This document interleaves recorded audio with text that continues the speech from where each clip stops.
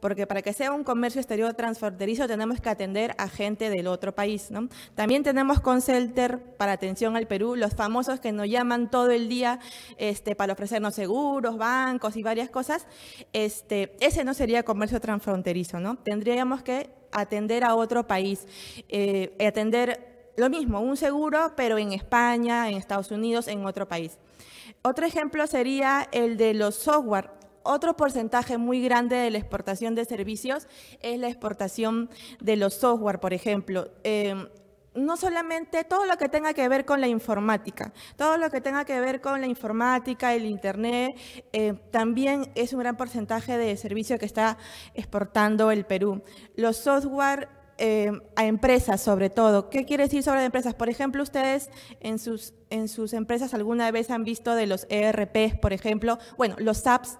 Entonces, ese, por ejemplo, eh, los apps no lo hacemos como Perú, ¿no? Pero sí, los apps son una, por ejemplo, un, un, eh, software, un programa de, de empresas un poco caro, y usualmente es para empresas que tienen demasiadas áreas y son grandes, por eso que hay otras alternativas que son parecidas a las del SAP y se les llaman ERPs, que esos ERPs tienen unos... Eh, tienen las mismas funciones, pero con menor capacidad. Entonces, esos tipos de software estamos eh, desarrollando bastante aquí en el Perú y los están exportando al, al extranjero. ¿no? También nos piden, porque eh, supongo que en el, en el extranjero eh, contratarlos es mucho más caro que, que llamar a una persona o a una empresa desarrolladora en Perú y decirles que necesitamos un software para mi empresa de, no sé, de alimentos en Francia, en Francia y necesitamos que tenga las siguientes áreas, contabilidad, em, producción, etcétera, y desarrollamelo por favor, se las mando y eso sería nuestro, nuestro servicio, ¿no? Otro ejemplo, eh, para que nos quede un poquito más claro, es, por ejemplo, la de... Eh, un laboratorio ¿no? de investigación, no sé, mandamos, nos mandan a nosotros acá eh, alguna muestra, de repente no de, no de medicina, que en, en Perú tal vez no no sea tan avanzado, pero nos pueden mandar una muestra de repente en la agricultura para ver una, si es que la tierra en, en, Brasil, por ejemplo, es fértil y nos mandan una muestra del suelo este, y acá hacemos ese servicio eh, y cobramos por ello. Eso también sería otro ejemplo de un comercio transfronterizo. ¿no? Son todos aquellos servicios que se realizan aquí en el, en el Perú, en, en Perú, en todas las ciudades del Perú y se exportan, ¿no? Y se, y se, y se, y se dan en el extranjero, ¿no? Por ejemplo, la segunda modalidad sería, bueno, otra cosa del comercio transfronterizo, por ejemplo, es la de eh, la, exportación de la energía, es este ejemplo. En el Perú, la energía no se exporta mucho, aunque tenemos capacidad de exportarla, tenemos mucha capacidad de exportarla. Acá en uno de los datos nos dice que tenemos una capacidad de reserva del 45% eh, y que podemos exportarla. Exportamos un poco, exportamos a Chile, pero podríamos exportar un poco más y podríamos tener mayores ingresos por ese, por ese lado, ¿no? La exportación de energía. Este, otro ejemplo sería, eh, acá por ejemplo vemos una, una película, una exportación de algo que se hizo en el Perú y que en el extranjero lo están viendo, lo están consumiendo. Esta es una película que ni siquiera, seguro ustedes la han visto, porque yo tampoco la he visto. Dice que se llama Videofilia. No, no, no la he visto, pero según el, según el, este, según la información de esta película, es la mejor película peruana del 2016 que llevó, que tuvo mayor cantidad de espectadores en el extranjero que aquí mismo. La verdad que acá ni, ni la conocí, pero sí es cierto, ¿no? Porque en el extranjero la vimos, la vieron más, perdón, y acá no mucho, ¿no? No fue tan conocida, no sé si ustedes la vieron. Luego, la segunda modalidad sería consumo en el extranjero. La primera era que nosotros damos el servicio desde aquí y allá nos lo reciben y nos pagan con una transferencia, ¿no? La segunda es consumo en el extranjero. ¿Qué quiere decir esto? Que el extranjero o la persona del otro país consume el servicio en el país proveedor o en el país natal nacional, en este caso en el Perú. Eh, tenemos varios ejemplos, ¿no? Turismo, alimentación, recreación, salud.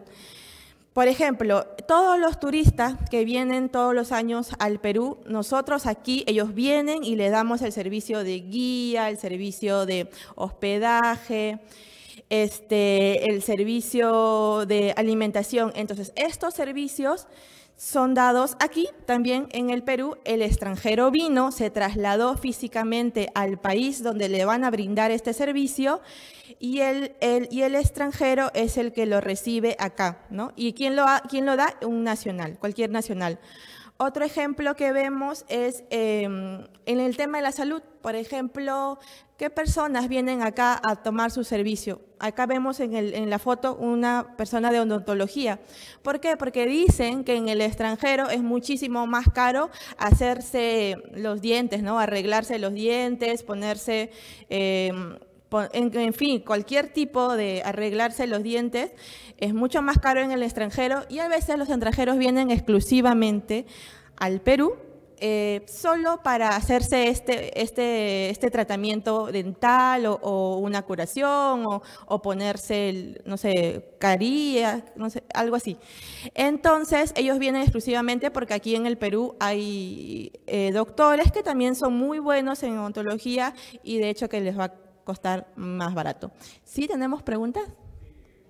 En el segundo caso que usted está mencionando, como para tener un, modelo de caso, el servicio médico odontológico, viene esta persona del extranjero y solicita la prestación del servicio acá en el Perú por un profesional residente en el Perú. Pero esta persona quiere, eh, solicita una factura porque esto lo quiere presentar en su país sea su empresa como gasto o a su compañía de, eh, seguros médicos. Eh, ¿Qué documento tiene que entregar este profesional afincado en el Perú que brinde ese servicio y cómo es esa factura o si se trata de un centro hospitalario acá en el Perú? ¿Cómo es ese eh, documento, esa factura? Ya, Por favor. gracias. Vamos a hablar un poco más eh, de este tema más a profundidad más adelante, pero te voy adelantando esa respuesta. Ustedes saben que todo lo que se refiere a exportación, sea de bienes o servicios, usualmente los comprobantes de pago son facturas o invoices, como les llaman. Los invoices son eh, documentos que dicen los productos o servicios que se les ha brindado y, están inafectos de los IGBs.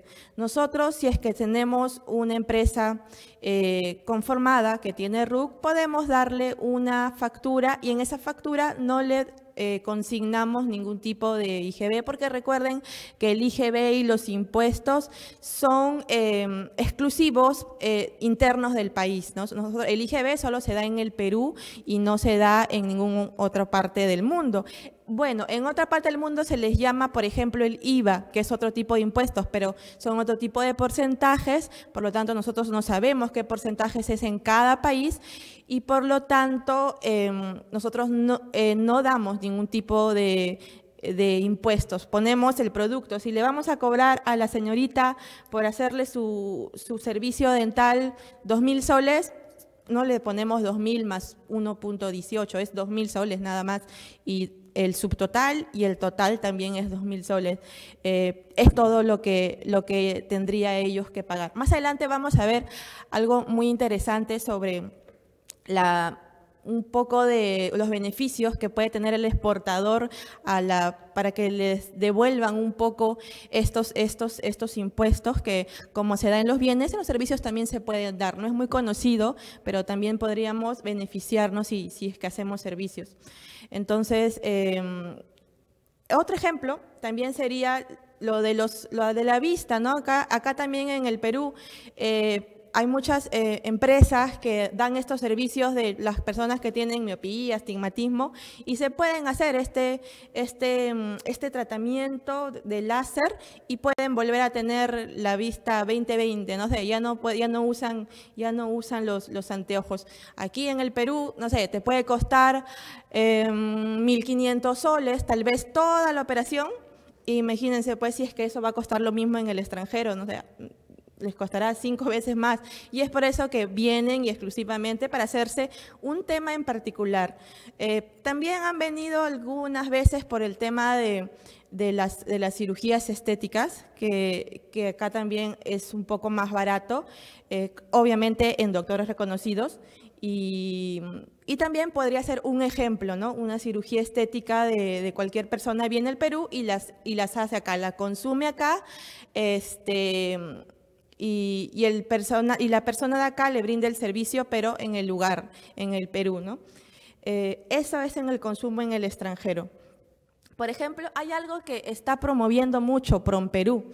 PromPerú está promoviendo eh, esta empresa, que es una empresa de, de, salud, que se le llama Disfruta Salud Perú. Es algo que eh, Perú lo ha, lo ha creado y encima tiene los respaldos, por ejemplo, de MINCETUR, el Colegio Médico del Perú, Colegio Odontológico, Sociedad de Cirugía Plástica y Reconstructiva del Perú, la Sociedad Peruana de la Fertilidad, todos estos, eh, eh, ¿cómo se llama?, organismos están respaldando a esta iniciativa de PromPerú.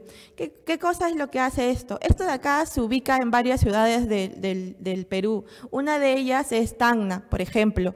En Tacna hay estas como eh, como hospitales, donde le dan estos servicios em, de oftalmología, odontología, pediatría y varias cosas de medicina general a los residentes más cercanos. Más cercano a Tacna, quien es Chile, ¿no? Todos los que están en Iquique, em, Arica, inclusive los, la gente de Santiago también va a este lugar y se atiende.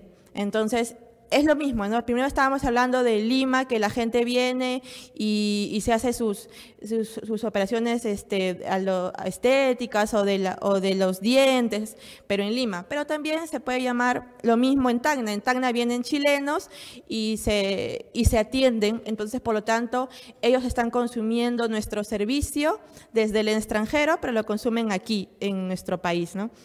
Eh, esto es otro ejemplo, ¿no? Disfruta Salud Perú. Es una, eh, está en muchas eh, ciudades del Perú es una iniciativa ¿no? de PromPerú para, para satisfacer a la, salud de las personas. tienen el eslogan que dice el placer de verse y sentirse bien, ¿no? porque hacen muchas atenciones en, en especialidades también de, de, la mejora de la salud, la belleza, el cuerpo. Por eso le, tiene ese eslogan. Luego, pasamos a la tercera modalidad. ¿Cuál es la tercera modalidad? Se le llama presencia comercial. Presencia comercial un poco se entiende eh, que tenemos la presencia eh, de nuestro negocio, en este caso estamos hablando de servicios, de nuestro servicio en el país extranjero. Acá dice, cuando el proveedor domiciliado en el territorio nacional establece una sucursal o establecimiento permanente en el territorio del otro país para suministrar su servicio. Acá vemos los ejemplos. Acá un ejemplo muy común es, este, por ejemplo, la, gastronomía peruana. Em, esto se podría, eh, si se entiende, estamos hablando eh, de franquicia, ¿cierto? Entonces, la gastronomía peruana eh, ha exportado mucho sus restaurantes. No solamente le dan bienes, sino también le dan servicios. Por ejemplo, tenemos el restaurante de Astrid y Gastón en Madrid. Ese sería un ejemplo de presencia comercial. Gastón ha ido con, sus, con su restaurante a otros países. Ha ido a España, ha ido a Estados Unidos y donde por cierto, le está yendo muy bien. Este, y ellos van con sus inversiones y las ponen en otros países. Eh, hay muchos ejemplos de gastronomía. Por ejemplo, Bembos también ha ido a muchos países. Bembos está en un país en que es muy raro que haya ido porque no se come carne, por ejemplo, es en la India. Entonces, Bembos también está en la India. Mm, ¿Cómo ha ido? Supone que no están dando carne de carne de, vaca, no están dando carne de, ¿cómo se llama esa? La carne de, este, de soya, ¿no? Están dando la carne de soya o la que no es de animal, porque eso es lo que, lo que, lo que recibe o lo que puede consumir la gente en, la India.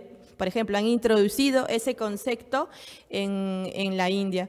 Eh, ni siquiera McDonald's pudo introducir al, comienzo, porque ellos como venden también hamburguesas y carne, la India no acepta ese tipo de consumos, ¿no? Para ellos, ustedes saben que es sagrado las vacas y, no consumen. Pero Bembos fue con su idea, con su idea de, carne de soya y los han aceptado, ¿no?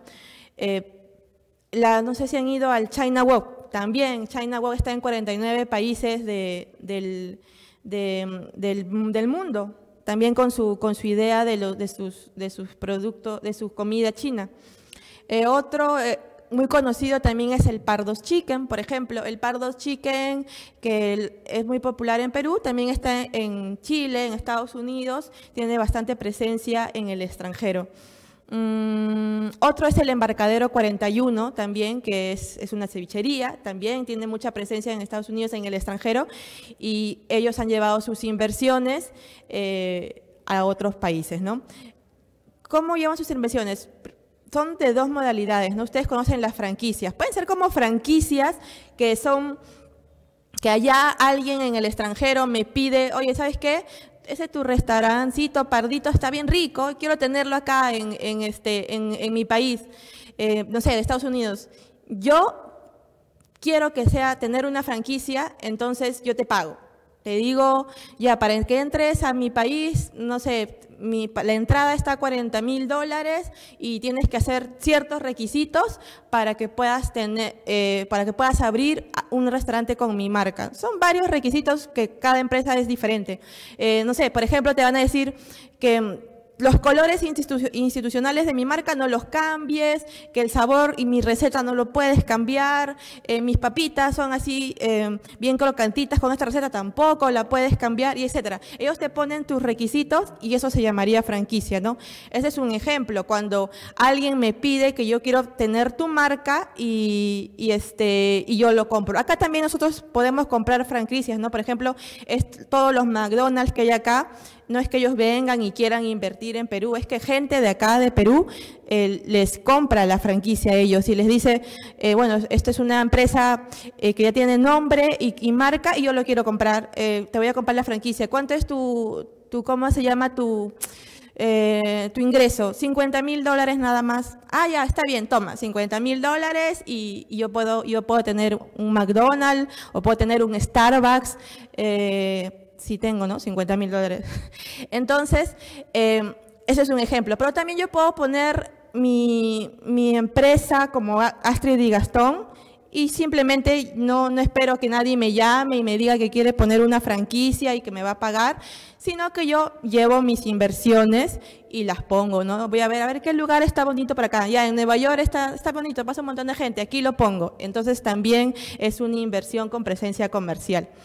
Eh, otra cosa, eh, otro ejemplo, hay un BCP, por ejemplo en Miami, también puede ser las financieras. Eh, hay un BCP en Miami eh, donde ellos nos brindan los servicios de sacar dinero, igual, todo como nuestras tarjetas son visas, puedes sacarlo de cualquier lado del mundo, ¿no? Pero hay una agencia exclusiva para atención este, en Miami, por ejemplo, ¿no? Con nuestra tarjeta no solamente podemos hacer la, típica de pagar porque es Visa, sino que también podemos hacer las transacciones normales, ¿no? Porque es una agencia propia del BCP. Si queremos poner nuestros ahorros, porque justo nos salió un trabajo cuando estuvimos de vacaciones en Miami, nos pagaron dos mil dólares, uy, ahora dónde lo deposito? Y ahí tengo un BCP.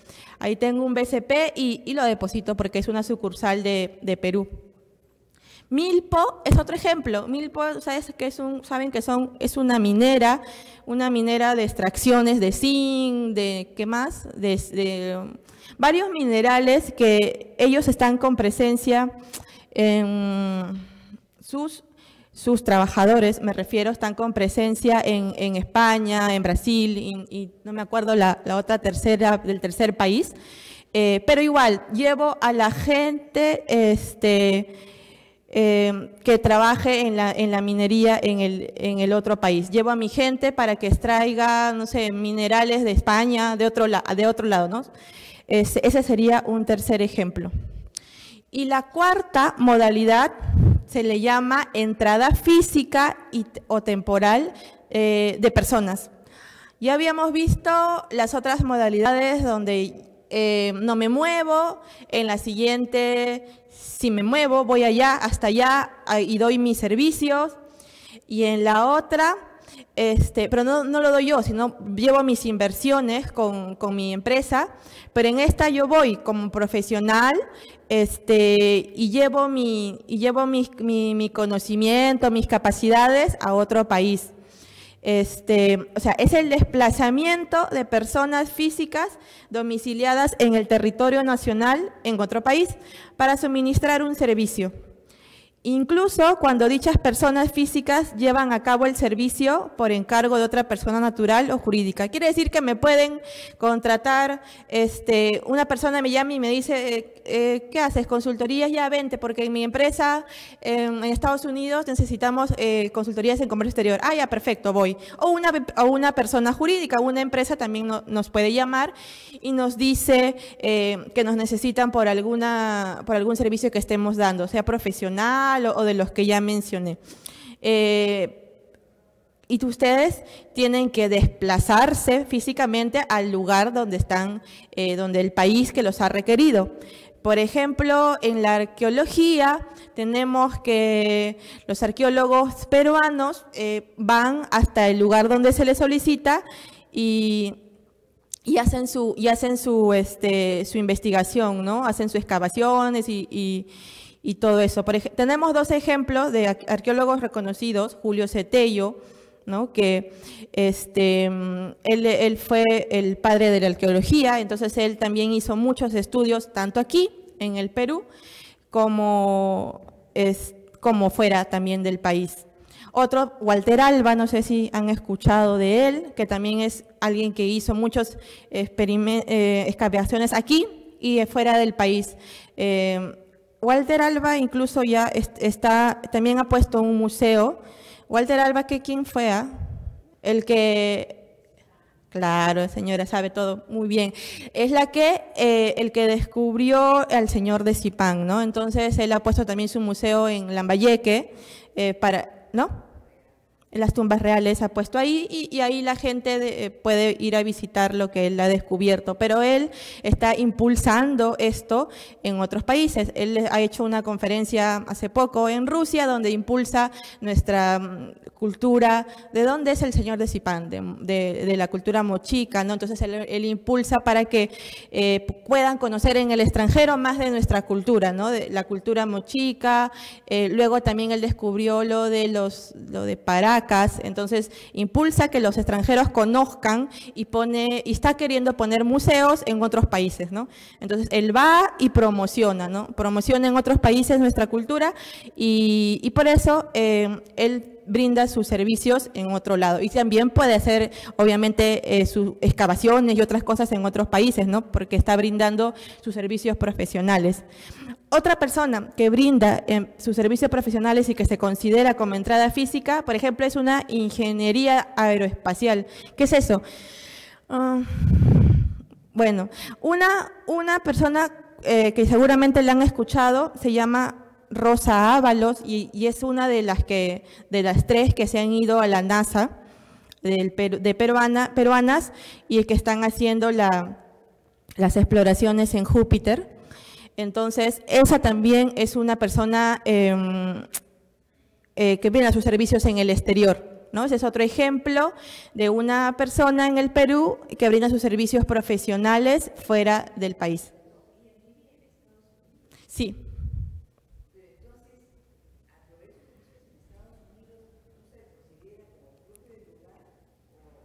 Ah, pero ella ha nacido aquí en el Perú, entonces ella comenzó haciendo sus estudios y sus servicios acá, pero luego la contrataron en la NASA, entonces ahora como dice, ¿no? Me han solicitado mi servicio, sea una persona natural, en este caso es una persona jurídica, ¿no? Que es la NASA. Me, contrataron y, yo voy, porque ¿y dónde quieres que vaya? Aquí en mi oficina, aquí en Júpiter. y, te, y te la llamaron en Júpiter, ¿no? Entonces, este, ahora ella está ahí. Entonces se le considera que ella, que es nacional, está brindando sus servicios eh, de ingeniera aeroespacial en otro país, ¿no? sea, en, en, como le decía, en eh, requerida por personas o por empresas o en este caso entidades, ¿no? se, le llama entrada física.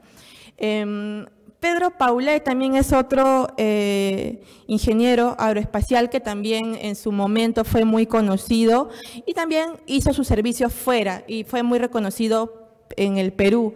Por ejemplo, em, ustedes saben que él hizo em, las investigaciones para que se desarrollaran los cohetes con propulsión de, de chorro.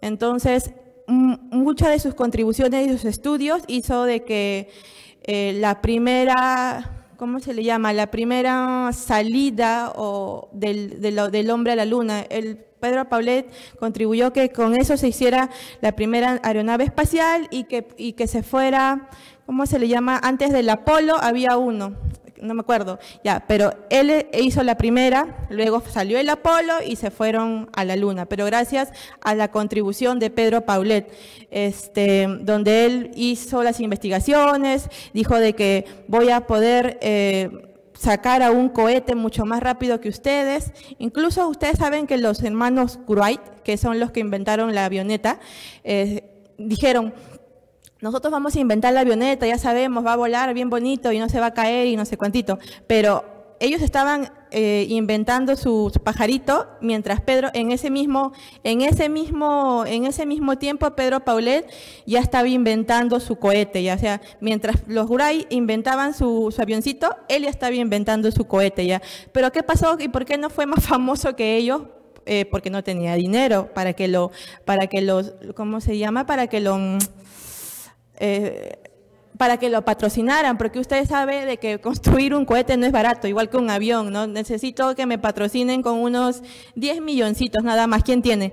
Entonces nadie tenía en ese momento eh, y, él estaba buscando, pero no encontró. No encontró en su momento. Él se murió y, no llegó a encontrar a alguien que le patrocinara. Luego que ya falleció, ahí recién eh, dijeron, ah, mira, acá hay un señor, Pedro Paulet, de Perú, de que hay hecho esta investigación de la propulsión de chorro. Entonces un alemán viene y dice, ah, ya, yo lo voy a inventar con mi cohete. Entonces voy a, ponerle su investigación y, vamos a lanzar el cohete, em, los, primeros pasos para el, para el hombre de la luna. Pero lo comenzó Pedro Paulet, ¿no? Pero no, no, fue, no fue apoyado al comienzo, ¿no?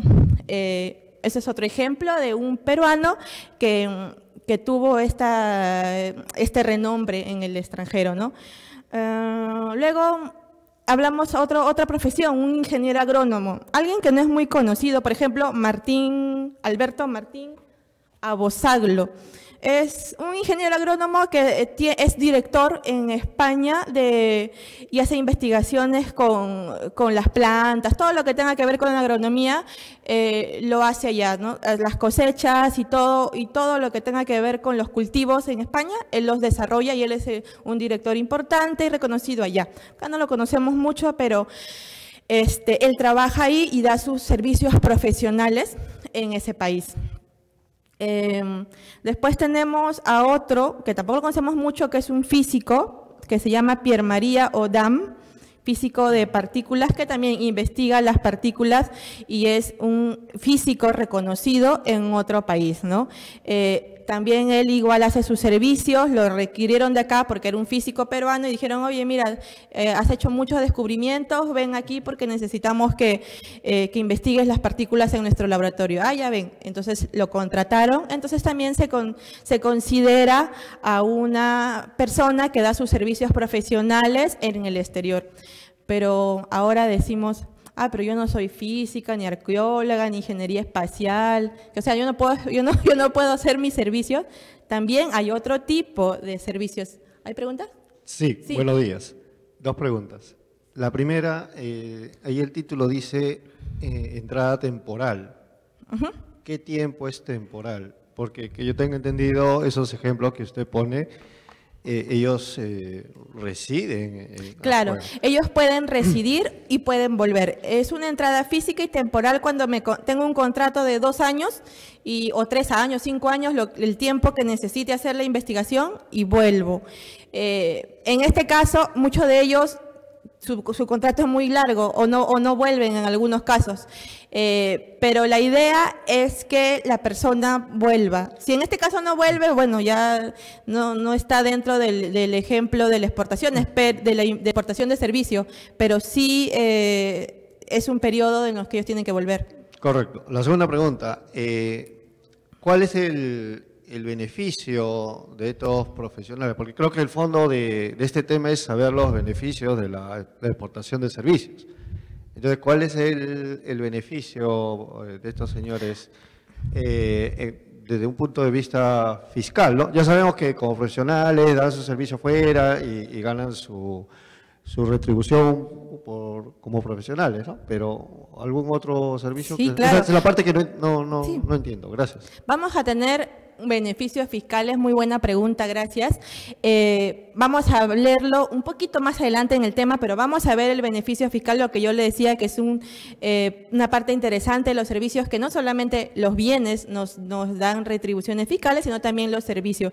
Obviamente, como bien nos los dijo nuestro, nuestro amigo, nos dice que no solamente reciben su sueldo, sino también podrían recibir otro tipo de retribución, ¿no? que las vamos a ver un poquito más adelante. Y sí, y sí pueden recibir un crédito fiscal fiscal.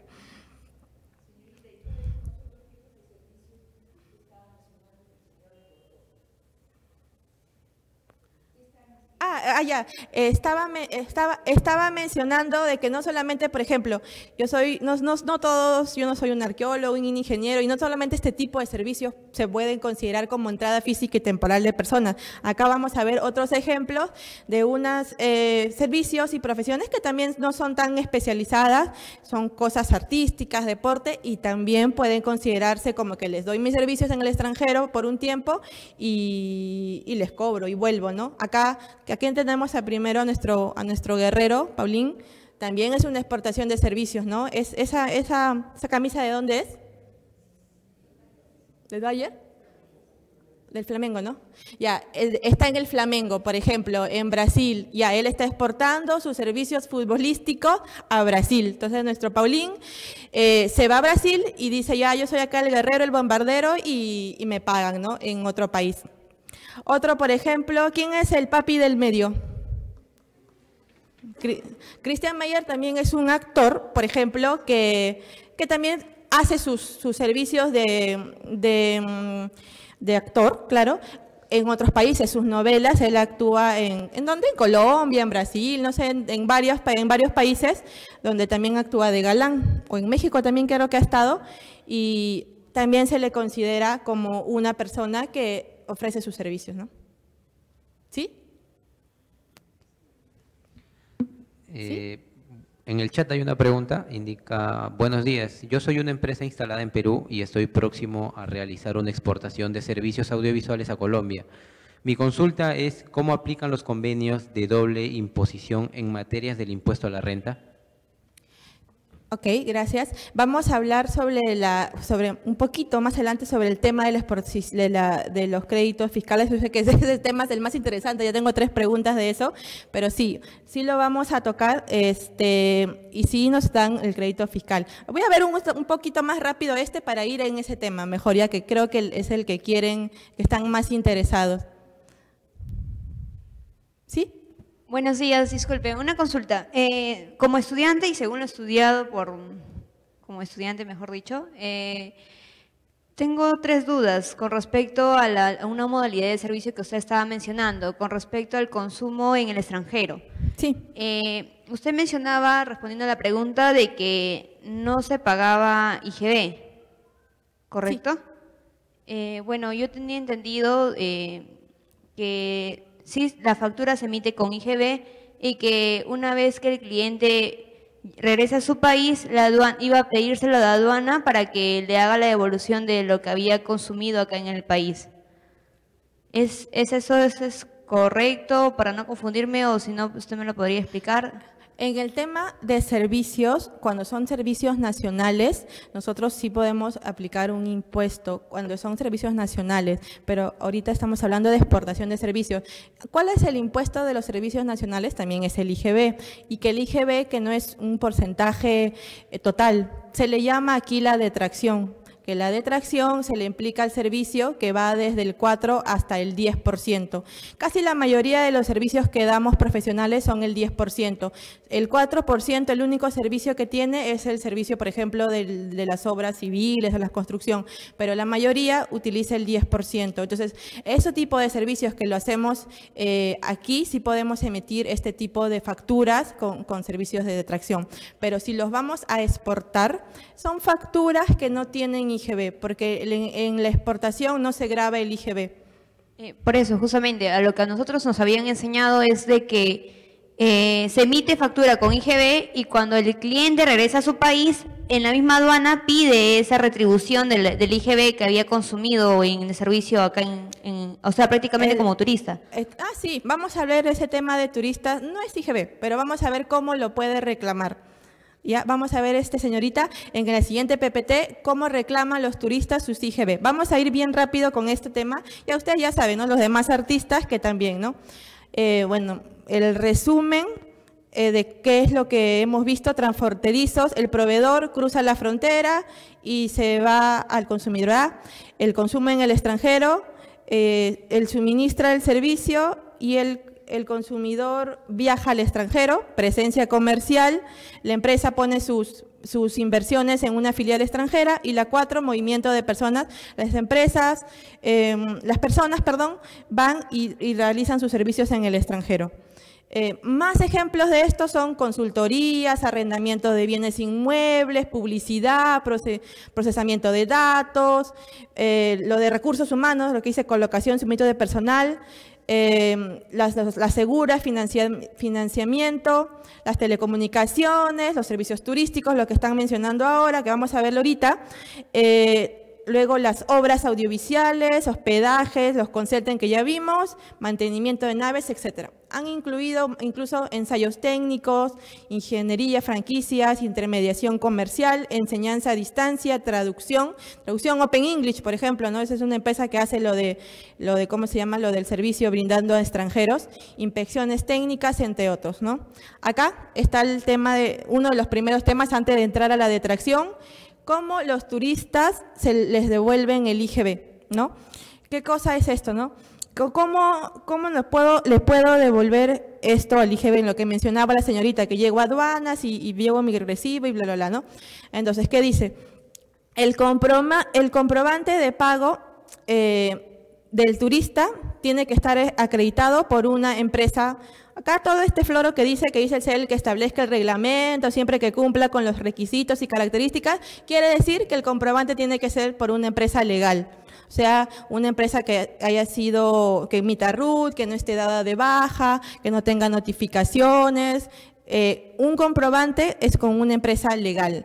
Eh, si es una empresa que está con todos los de la ley, puede emitir una factura al turista y el turista al final, como decía la señorita, se va de su país, se va a las aduanas y con todas sus fracturas y comprobantes puede, eh, puede pedir la retribución de, sus, de sus impuestos que no han sido pagados. ¿Por qué? Porque ellos no pagan IGB. Vamos a entender un poquito más esto. El precio del bien consignado en el comprobante de pago que presente el turista al momento de salir del territorio eh, tiene que ser pagado con los medios que señala el, reglamento. ¿Qué señala el reglamento? Que lo pague con, su tarjeta. No, o sea, tiene que haber un medio probatorio. O sea, si yo te pago, toma, tengo 50 dólares y, te compro tu chullo, eh, no hay un medio probatorio que te di los 50 dólares.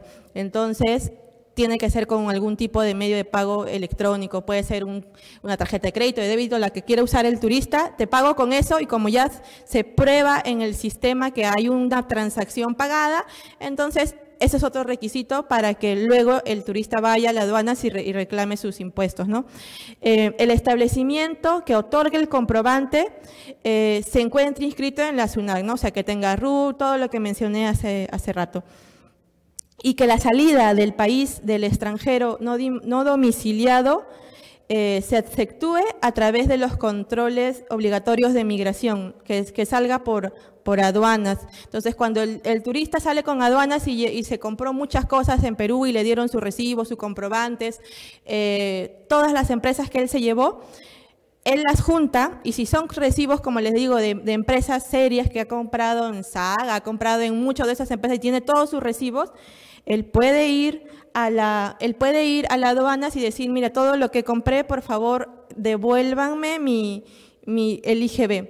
¿Qué IGB? El IGB que, que no, no, pagó, porque como es un, es un turista, a él no le cobran IGB, pero sí lo puede, si es que es, una, si es, que es un consumo de exportación, por ejemplo, pero sí, eh, si es que es un consumo, por ejemplo, como un bien o un, o me compré ropa, me compré calzados, eso sí, ustedes saben que se grabe el IGB, que está implícito. Cuando yo voy a un centro comercial y me compro un zapato, ya está implícito que está incluido el IGB, ¿no? O sea, que ya lo pagó. Entonces, él reclama todos esos comprobantes y va donde la aduana y dice, mira, tengo 5 mm, mil, 10 mil dólares en compras varias eh, que hice en, Perú y bueno, tengo 10 eh, mil dólares, me tienen que dar, este, me devolverme el impuesto, ¿no? Como a ellos no les sirve el IGB y a nosotros sí, les devuelven el impuesto, el, el, el 18% de esos 10 mil dólares. Entonces, ¿Qué quiere decir acá? Que esto es una oportunidad de negocios para nosotros, porque nosotros si somos una empresa formal, que da factura, que etcétera, etcétera, le podemos vender a los turistas y le damos los comprobantes y le podemos enganchar y decir al turista, eh, mira, cómprame acá porque yo sí te voy a dar un comprobante que al finalizar tu viaje vas a poder... Eh, solicitar la devolución de tu impuesto y que les va a ser provechoso, ¿no? Por ejemplo, les devuelven 180 dólares, 200 dólares que les sirve para algo, ¿no? No, va a ser todo el gasto en vano. Por eso es que les conviene a ellos comprar en, en empresas formales, sean empresas, sean hoteles, en lo que sea, pero que sean formales. Eh, hay otro tipo de empresas que también eh, ellos pueden comprar y, no, y, les dan un precio un poco más barato, no les cobran el impuesto, el IGB. Por ejemplo, hemos visto el, ejemplo de los centros comerciales, donde ahí sí está incluido el IGB, pero después me voy a aduanas y, lo, y, y reclamo la devolución. Pero hay otros que no puedo, yo ni siquiera reclamo la devolución porque ya ni siquiera me lo cobran. ¿Cuáles son, por ejemplo? Lima Duty Free. ¿Qué significa duty free? Duty free es que está libre de impuestos. Quiere decir que ya aquí, en mi recibo, ni siquiera lo reclamo porque lo que he comprado ya, ya no tiene el 18%, no tiene, no tiene ningún impuesto y por eso es que usualmente dicen que comprar las cosas en estos duty free, uno de ellos está en el aeropuerto, eso puede ser un poco más baratos. No sé, yo me quiero comprar un, perfume Dior, Yador, que está eh, 500 soles en Saga y, me gusta, pero voy a Lima Duty Free este, y me cuesta 300, ¿no? O sea, eh, por eso es que aquí eh, hay, deberían haber más empresas como estas. En Perú no hay muchas. Eh, otra es un hotel de, cinco estrellas que, también em, te exonera de impuestos al momento de hacer tus pagos, que es el Westin. Y así, no hay muchas empresas en Perú, pero no son muchos los requisitos como para que nuestra empresa pueda tener este beneficio, si es que queremos atender gente del extranjero. No son muchos requisitos que los vamos a ver. Eh, por ejemplo, ser generador de rentas de tercera categoría. ¿Qué quiere decir la tercera categoría? O sea, que seamos una empresa eh, tanto natural o jurídica, este para que podamos y que paguemos el impuesto a la renta. O sea, si somos de cuarta, de quinta, emitimos recibo por honorarios, ¿podemos eh, aplicar a esta empresa de tax free, de impuestos libres? No, solamente los que son de cuarta categoría, nada más. Em, luego, encontrarnos en el régimen de buenos contribuyentes, ¿no? O sea, para eso es otro los requisitos que te va a pedir la SUNAT. Te va a decir, ya, eres un buen contribuyente, pagaste todo a tiempo, tu renta, tus impuestos de renta, ah, sí, entonces sí calificas que tus bienes se graben con el IGB. No tener la condición de domicilio no fiscal no ha habido en el RUG. O sea, si yo doy mi dirección, abro mi RUG y, esa dirección no existe, tampoco, no, te, calificas. Em, que tu inscripción en el RUG no se encuentre de baja y que nunca te hayan suspendido temporalmente, por algún caso te suspendieron tu licencia en SUNAT, ya no calificarías. Haber presentado oportunamente tus declaraciones y pagos de, obligaciones tributarias, ¿no? eh, estar en la ley con SUNAT, en, conclusión, no contar con resoluciones, con notificaciones, eh, ni, hacer, ser un establecimiento que la SUNAT te haya excluido por seis meses, por haber incumplido alguna de estas normas. Eh, si dentro de los seis meses la incumpliste, pero luego pasaron y ya estás en ley, ya puedes volver y decir, mira, ya pasaron seis meses, este, en mi, en mi restaurante encontraron una pequeña ratita, pero ya la limpié, ya está limpiecito. Este, ahora ya puedes venir y me puedes hacer un, de nuevo un, este, una inspección y vas a ver que voy a cumplir con todos tus requisitos. Ah, ya, perfecto. Voy y te hago como una, tu eh, que cumples con todos los requisitos y ya. Y ya puedes ser este, una de las personas, que, de las empresas que, que den comprobantes libres de impuestos. A ver. Ah, lo del crédito fiscal. Ya llegamos a este tema. El tema del crédito fiscal, de, los que muchos estaban preguntando. Eh, el crédito fiscal, ¿qué son? Se destinan a operaciones por las que se debe pagar el impuesto o que se destinen a servicios prestados en el exterior no grabados con el impuesto. Este crédito fiscal eh, estamos hablando de las exportaciones de servicios. Ustedes saben que el crédito fiscal no solamente em, se da, se da con, los bienes, también ustedes van a saber ahorita que vamos a poder ayudarnos si es que damos servicios aparte de nuestros bienes. Nosotros tenemos modalidades. Por ejemplo, para reclamar nuestro crédito fiscal, nosotros eh, tenemos que hacer nuestras compras, nuestras ventas, y si es que nuestras compras, ustedes ya saben, eh, son mayores que nuestras ventas, tenemos un crédito fiscal, que esos créditos fiscal, por ejemplo, tenemos 50 mil dólares de compras y vendimos 60 mil dólares. Hacemos una resta 60 menos 50 mil y tenemos 10 mil dólares. De esos 10 mil dólares por 1.18 ese porcentaje es lo que supuestamente le tenemos que, que, pagar aduanas, esos 1.800 dólares tenemos que pagar aduanas. Eh, y eso es lo que se le llama la retribución del crédito fiscal, ¿no? Pero ¿cómo podemos restar esos, esos, esos 1.800 dólares que yo tengo que pagarle a aduanas, a SUNAT, perdón? ¿Por qué tengo que, que, restar? Porque yo no quiero pagar, nadie, o sea, ya me ingresó toda la plata a mí, mis 60 mil dólares vendí, qué chévere, y luego después pasó un tiempito, no, ahora devuélveme 1.800, porque de esos 1.800 tú ha habido una venta y esos 10 mil dólares no ha sido contemplado en impuestos. Entonces tienes que devolverme los 1.800. Entonces, ¿cómo podemos hacer para restar un poquito eso? Eh, varias formas. Por ejemplo, si es que nosotros importamos cosas eh, y vendemos cosas que son importadas, dentro de, nuestra, de nuestras importaciones tenemos eh, que pagar la percepción. La percepción es, por ejemplo, un, impuesto que luego es devuelto, que usualmente es el 3.5% de, del CIF más del CIF más el ad y, este si es un producto que ya lo hemos importado varias veces, porque si lo importamos por primera vez es el 10%. Luego otra cosa es el, em, si es que damos servicios internos, también las detracciones. Eso también puede restar a nuestro crédito fiscal. Eh, las retenciones. Hay algunas empresas que ustedes dicen, soy agente retenedor, deposítame 3% de lo que me vas a pagar en el Banco de la Nación.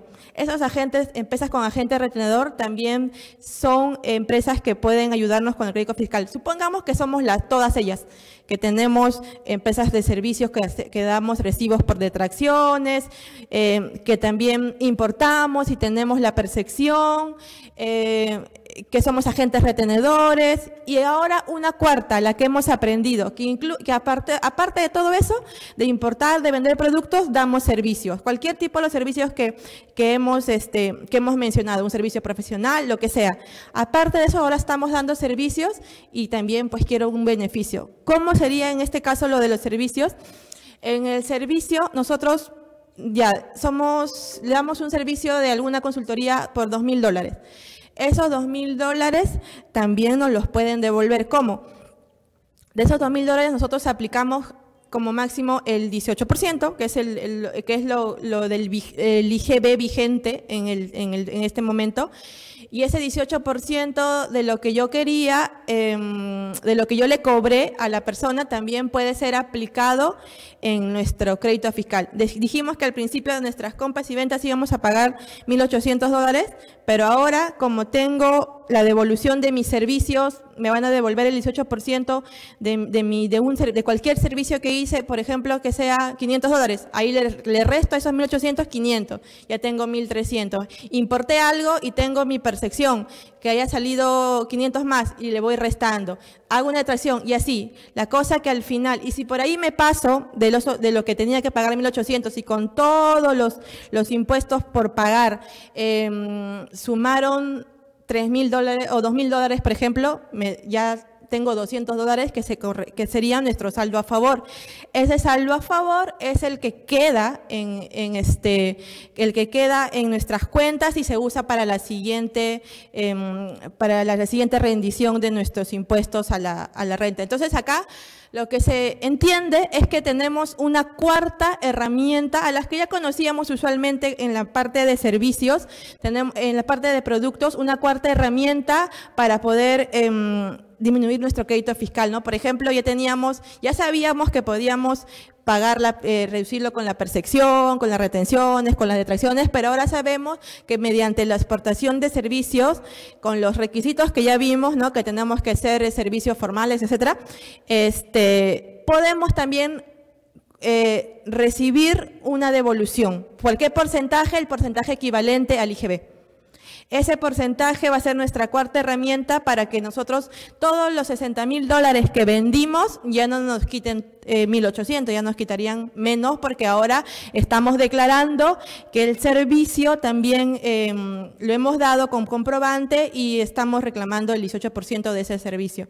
Por lo tanto, es, nuestra ganancia, nuestras utilidades serían un poco mayor y, y nos convendría un poco eso. ¿no? Por eso es que en los demás países como Chile, España y todos, están promocionando mucho lo de los servicios, casi no en, ningún, en muchos países de Latinoamérica, eh, no tienen más exportaciones de bienes que de servicios. Eh, el, país de latinoamericano que más servicios exporta actualmente es Chile. O sea, Chile siempre, ¿no? Chile exporta sus 65% de sus cosas son servicios, ¿no?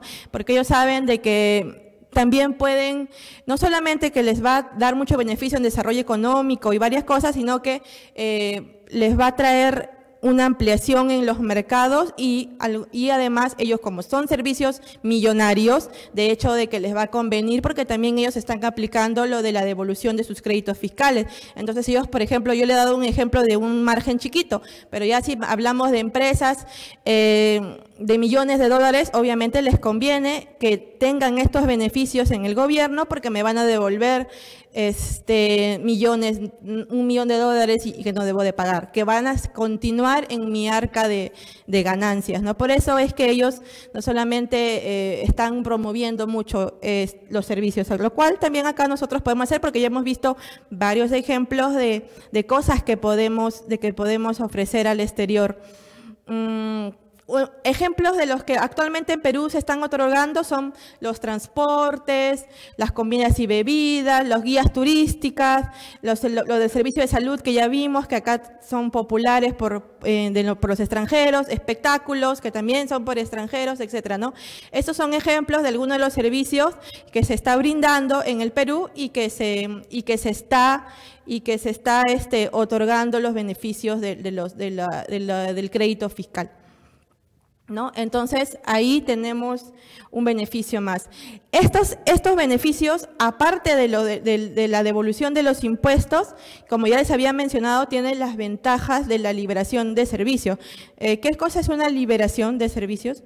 O sea, la liberación es, eh, quiere decir que yo estoy libre, que quiere decir que no que puedo expandirme a más mercados, que no está afecto a que, el, gobierno me controle, me controle tanto. Por ejemplo, si yo tengo mi servicio de contabilidad, eh, si es que yo doy mis servicios al exterior, quiere decir de que ya no voy a tener que, eh, tantas restricciones que tiene la parte del, gobierno de, SUNAC, sino que como lo estoy dando a otro país, ya amplío eh, mis horizontes y, las restricciones pues ya no, ya no son las mismas que, se darían si es que estoy en planilla, en una empresa formal donde tengo muchas retenciones, me retienen mi quinta categoría, etcétera, etcétera. Ya no, porque lo estoy brindando al exterior y entonces mi, dinero, mi ganancia va a ser más grande, va a ser este, íntegra. Por ejemplo, tenemos una ventaja, eh, eficacia económica que, que dice, ¿no? Eh, obviamente no eso se entiende porque nos está contribuyendo a la prosperidad económica. Eh, si es que nosotros exportamos servicios, pues vamos a ganar más, ya no nos vamos a limitar solamente a voy a exportar mis, mis espárragos, voy a exportar mis arándanos, pero también, aparte de eso, voy a exportar mis servicios profesionales, porque como exporto espárragos, este, también doy asesorías en la agricultura. Entonces, amplío más mis horizontes y, y, mis ganancias, ¿no? Eh, desarrollo, obviamente, ¿no? Porque nosotros nos estamos volviendo exportadores más competitivos, lo cual nos va a contribuir no solamente al desarrollo de nosotros como profesionales, sino también a los desarrollos eh, del, Perú, ¿no? Porque vamos a incrementar las arcas de, exportaciones de servicios del Perú. Entonces, por eso nos estamos, eh, estamos contribuyendo al desarrollo del país. Ahorro, ahorro para los consumidores, ¿qué quiere decir? Por ejemplo, eh, cuando nosotros tenemos, mm, nos ampliamos a más mercados, ahora estamos ofreciendo bienes y servicios a todos los mercados del, mundo, ¿no? Ya, ya encontré mi, lo que quiero hacer, ya, ya sé que voy a, en este, en en Estados Unidos, como yo tengo la capacidad de, vender mis artesanías, lo voy a vender y además voy a, también voy a exportar mis servicios de, este, no sé, cualquier, cualquier capacidad que ustedes tengan. Ahora ya sé de que mientras más competencia haya en el exterior, nos va a convenir porque nosotros vamos a tener precios más competitivos de productos y servicios. Como vamos a, ver, van a haber más empresas, van a haber más gente que, que ofrezcan esto. Entonces, por ejemplo, acá dan el ejemplo de las telecomunicaciones. Es por eso de que cuando vienen eh, más empresas de telecomunicaciones de otros países, acá los celulares, por ejemplo, nos los venden más barato, hay más ofertas, eh, tenemos más minutos, etcétera, ¿no? Hay la competencia. Antes, cuando había el monopolio de una sola empresa, pues era todo caro y teníamos que pagarle a ellos. Y ahora que ya tenemos tres, cuatro, entonces es una ampliación del mercado donde el, dentro de la competencia, que muchas veces decimos que la competencia es mala, no siempre es mala, la competencia eh, ayuda a, nosotros como empresarios a que seamos más competitivos. Si mi competencia está mejorando, me da el impulso de mejorar también a mí. Eh, y para el mercado también, si es que el mercado tiene mayores opciones, yo como consumidor también voy a tener mayores opciones de dónde escoger. Em, innovación, obviamente, si es que nosotros estamos exportando servicios y bienes, entonces estamos traspasando fronteras. ¿Qué quiere decir? Que podemos eh, innovar y, traer otras ideas. En el caso de la modalidad de presencia, presencia en el extranjero, eh, nosotros mm, vamos a, a otro país y damos nuestros servicios, pero nos vamos a adaptar a esa empresa. Quiere decir que vamos a aprender muchas cosas de esa empresa. Entonces nosotros venimos con nuevas ideas, con nuevos horizontes. Mira, me fui a España porque me llamaron para eh, mi servicio de, contabilidad y aprendí varias cosas que no sabía. Ah, qué bueno. Entonces estamos innovando. Transparencia y previsibilidad. Eh, transparencia es porque muchos de estos servicios están incluidos en, los servicios que son por la Organización Mundial del Comercio, la OMC, y que ellos impulsan mucho eh, que, los países tengan, eh, tengan estos servicios. Mm, mm, mm, Obviamente la transferencia de tecnología es, obvio porque la, la, tecnología nosotros la la repartimos tanto de aquí como lo traemos de donde, de donde estamos haciendo el servicio. ¿no? Por eso es que la transferencia de tecnología nos ayuda mucho eh, si somos exportadores de servicios. Y luego tenemos análisis, eh, este es un FODA, que quiere decir que si nosotros ya formamos la empresa, nosotros vamos a tener em, fortalezas dentro de nuestra empresa como tanto fuera. ¿no? Las fortalezas dentro de nuestra empresa, por ejemplo, es eh, que nos van a reconocer internacionalmente, eh, que vamos a tener unos costos diferenciados porque vamos a ser más competitivos, ya que no vamos a pagar muchos impuestos, podemos ofrecer nuestros servicios un poco más baratos, eh, vamos a tener nuestro mercado ya sería el mundo, ya, ya ubicación geográfica estratégica. Quiere decir que nuestro mercado ya sería cualquier parte del mundo. Yo quiero ofrecer mis servicios en, en, no sé, en Tailandia y lo puedo hacer. Y si es que de por ahí les gustó mi servicio y me quieren me quieren eh, traer y pagarme los pasajes, pues voy, ¿no? Eh, por ejemplo, soy ingeniero de petróleo y me quieren mandar a, investigar a, no sé, a, Turquía el petróleo, ya voy también y, ofrezco mis servicios, ¿no? En oportunidades, que las oportunidades son las cosas que son positivas pero que vienen de afuera. Por ejemplo, la globalización y el desarrollo de las telecomunicaciones. ¿no? Esa, es una, esa es una ventaja de afuera que podemos aprovecharlas. Necesidades de establecer redes integradas de empresas. Eh, no, no, existe limitaciones, claro, como estamos con el mercado mundial, no existe limitaciones eh, y tenemos gran presencia en extranjero. ¿Cuáles serían ahora las debilidades? En el ámbito interno de nuestra empresa, por ejemplo, que no hay mucha política de Estado en cuanto a los servicios, que eso sí, si nosotros queremos lo podemos impulsar más. Eh, como ya habíamos dicho, los requisitos no son tantos, en realidad solo es básicamente ser una empresa formal para poder eh, brindar servicios, eh, sean servicios profesionales o al extranjero. Si que quieren brindar servicio al extranjero también lo pueden hacer siendo una empresa formal y cumpliendo con esos requisitos que vieron que SUNAT pide. Em, no tenemos mucha información estadística porque ya eh, como el Perú no, no exporta tantos servicios, la información es un poquito limitada. Em, y, obviamente otra debilidad es que la gente se va a otro país, ¿no? Migra de capital humano, ¿no? Como vimos las señoritas de la NASA, este, se van a otro país a brindar sus servicios en, vez de, ayudarnos sacando los exploradores, etc. Amenazas son cosas negativas que vienen de afuera. Eh, los países vecinos Ah, impulsan los servicios como política de Estado. O sea, nuestra competencia, por ejemplo, lo que estábamos diciendo, Chile hace que sus políticas de Estado las mejoren porque tienen mayor capacidad de, de exportar servicios, entonces eh, ellos crecerían en un rango mayor, por ejemplo, al del, al del Perú. Eh, crisis laboral a nivel internacional por efecto de la globalización. Claro, como se están yendo nuestros profesionales, de repente vamos a tener un poco de escasez de profesionales, ¿no? Y mm, creciente exigencia de certificación de calidad. Claro, porque ahora si es que nosotros vamos a ofrecer eh, servicios al extranjero, si es que son bienes, nos van a ofrecer los, típicos certificados eh, de alimentos, los certificados internacionales del FDA, etcétera. Entonces van a haber un poco más de restricciones. Pero todas estas se pueden, se pueden superar. Eh, donde tenemos las exportaciones de servicio más arraigadas, los sectores en el mundo de Perú. Por ejemplo, Perú, em, lo que tiene en su mayor, si ustedes se dan cuenta, eh, en el amarillito, los cuadrados, lo que tiene más alrededor del mundo son las franquicias, lo que hablamos, ¿no? Y sobre todo lo de la, gastronomía, ¿no? casi todos los restaurantes peruanos están por mucha parte de Latinoamérica, Europa, eh, en España y uno en Asia, ¿no? Y otra cosa también son los call centers. Los call centers también están en muchos lugares del país.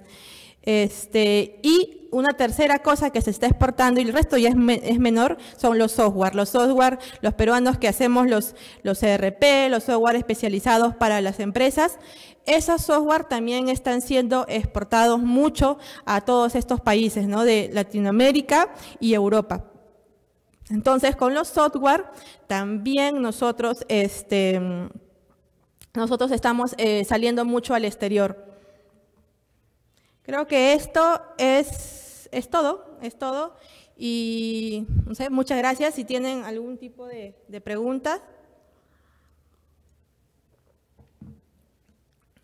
Si es que no tienen ningún tipo de preguntas, me las pueden hacer en la comodidad y soledad de su casa, entre ustedes y yo.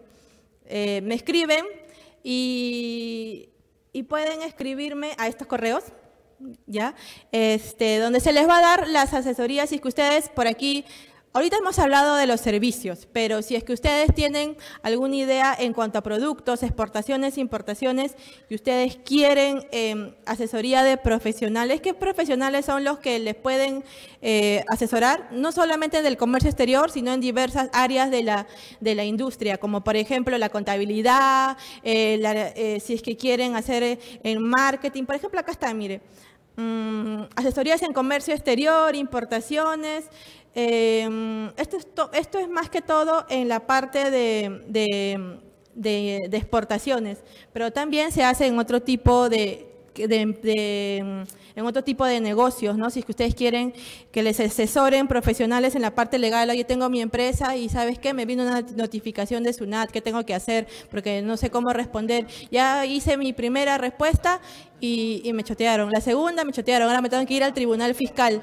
pucha, ¿qué, ¿qué, respondo? Tenemos profesionales legales que saben mucho de la parte de cómo responder a aduanas, a SUNAT.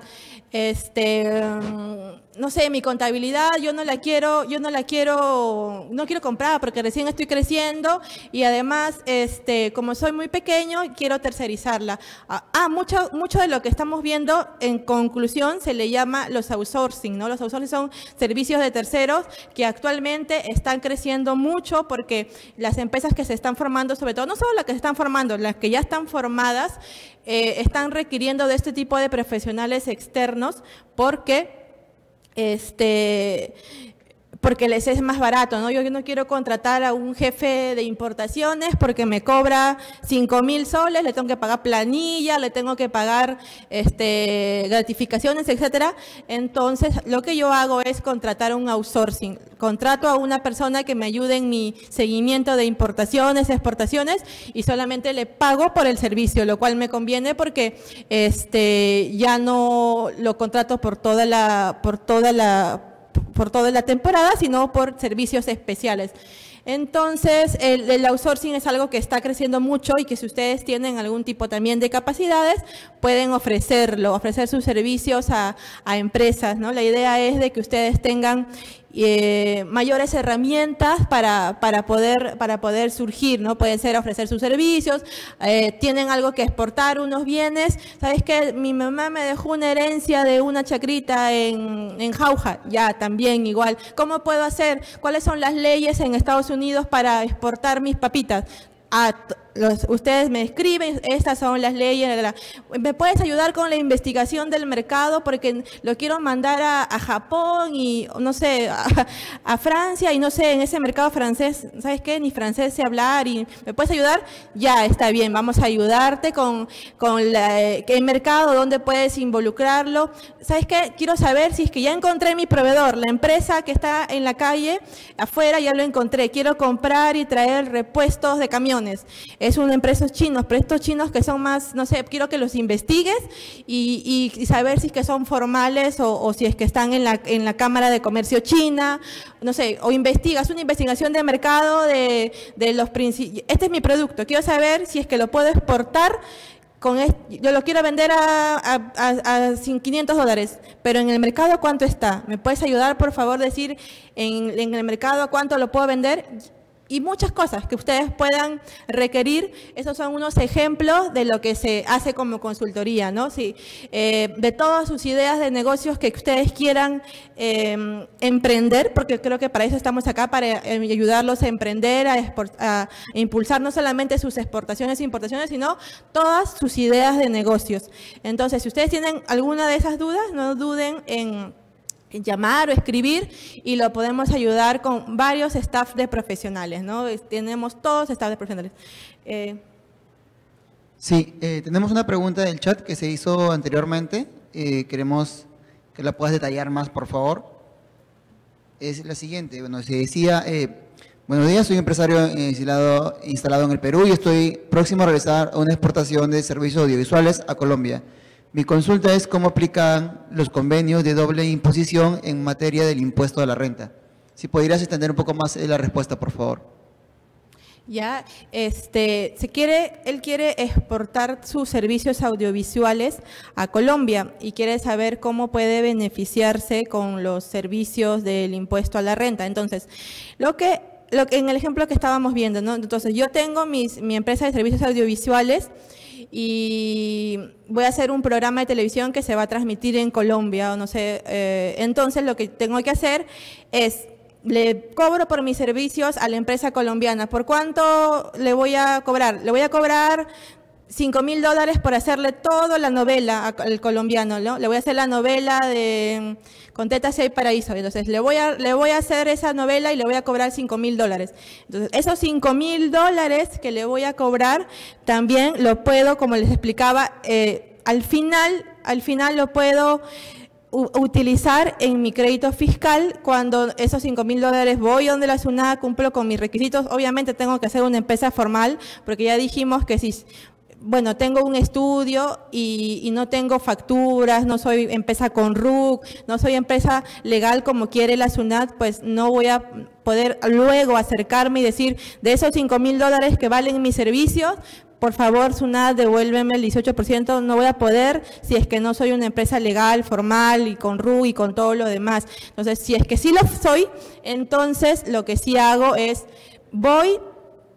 Eh, presento mi factura o el comprobante de pago que yo haya mostrado a esta empresa eh, colombiana y le digo, esta Sunat, esta es la factura, le he cobrado al productor eh, em, 10 mil dólares y de estos 10 mil dólares ha sido a servicio eh, por los servicios audiovisuales. Por favor, devuélveme para eh, utilizarlo en el crédito fiscal. Entonces una va y dice, ah, ya, muy bien, esto es una factura, con esta empresa es formal, ya, vamos a devolverle el 18% eh, que lo puedes utilizar en tu crédito fiscal. ¿Qué quiere decir? Que si es que solamente hago, hago servicios, lo puedo utilizar también, pero si aparte para hacer esos servicios de repente compré equipos de sonido, equipos de software, CD, muchas cosas que utilicé, esas compras también las puedo utilizar porque compré y, obviamente pedí factura, ¿no? Pedí factura y tengo compras aparte de 20 mil dólares más. Uy, tengo 20 mil dólares de compras más mis servicios que son 10 mil dólares, o son 30 mil dólares. Entonces quiere decir que por mis 20 mil dólares de compra y, por mis 10 mil dólares puedo obtener eh, con, el, con el tema de la resta que les habíamos mostrado un, este, un beneficio de devolución de crédito fiscal.